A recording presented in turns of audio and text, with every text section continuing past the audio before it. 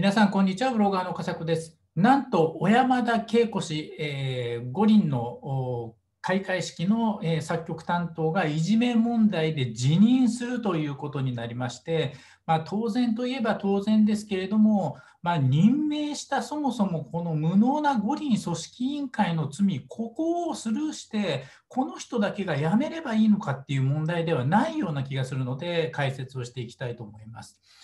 でまあ、五輪開会式の作曲担当ということで、この小山田氏ですけれども、まあ、障害者いじめの自慢を、えー、過去に、えー、雑誌で、2誌でしていたということで、これ、あの今、すっぱ抜かれた話ではなくて、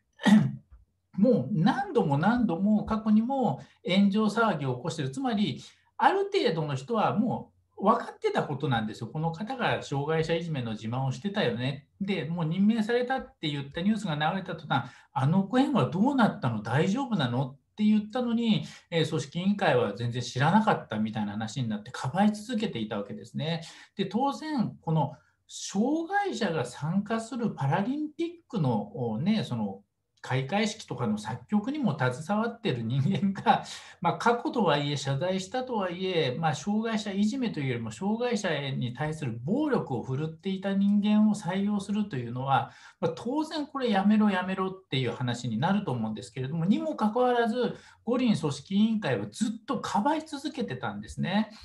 で、まあ、結果、まあ、もうこれもどうしようもないということでやめたわけですけれども、えー、そもそもこれ、任命したこの五輪組織委員会のこのずさんな体制というのが問題で、えー、例えば今まで全くそういうこの人のそういうこと発言とかがなくて、えー、その任命が発表されたら週刊誌が何か過去にこんなことがあったってすっぱ抜いたってんだったら五輪組織委員会には何の責任もないですけれどももうこれまで何度もこの問題で延長している人を取り上げて、それを調べれば、ネットで調べればすぐ出てくることを調べなかったこの無能ぶり、なぜこの人を任命したのか、しかもかばい続けたという、これもうとんでもない話です。まあ、この本人が悪いですけれども、でも一番悪いのは五輪組織委員会ですからね、これ、ろくに調べずに依頼して、で大混乱を招いて、えー、国民感情を逆なでして、でかばい続けて結局やめちゃったってどういうことなんだっていう、もう本当にこの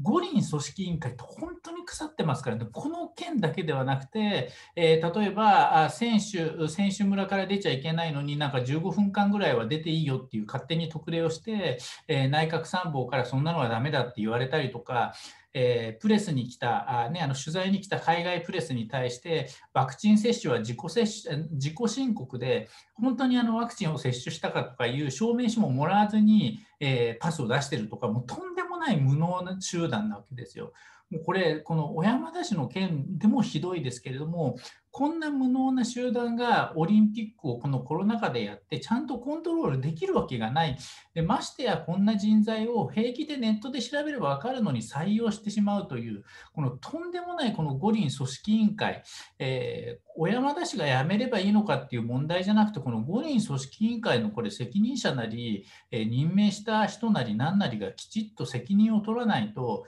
結局また誰か任命しても知りませんでしたみたいにまた問題が起きるっていう話になるので本当にこの組織無能ですから五輪組織委員会もうこの小山田氏の件だけじゃなくてあらゆる面でリスク管理とかも全く調査がなされてないということで単にですね小山田氏が辞任すればいいという問題だけではなくてこの五輪組織委員会の責任もぜひ、えー、多くの人は追及すべきなんじゃないかなというふうに思います。それにしても本当にこの五輪組織委員会本当に無能です。